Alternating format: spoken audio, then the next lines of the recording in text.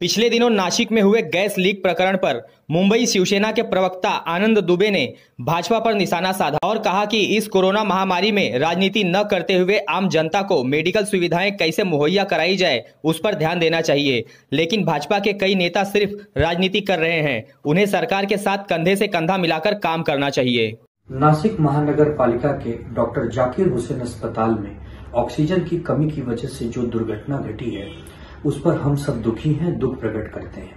लेकिन इस साथ ही साथ में हमें दुख इस बात का भी होता है कि भारतीय जनता पार्टी कब बाज आएगी अपने इस गंदी राजनीति से? जहाँ पर आपको मदद करनी चाहिए, केंद्र से राज्य सरकारों को, वहाँ आप मदद नहीं करते। चाहे वैक्सीनेशन के लिए बात हो, चाहे ऑक्सीजन के लिए बात हो, चाहे और भी मेडिकल सुविधाओं के लिए बात हो, आप बिल्कुल ध्यान नहीं देते। और जहाँ आपकी सत्ता है जैसे नासिक महानगर पालिका में 122 लोगों के नगर सेवकों की संख्या होते हुए छाछठ आपके पास है। महापौर आपका है उप महापौर आपके हैं। आप वहाँ भी ध्यान नहीं देते। आप केवल और केवल राजनीति करना चाहते हैं।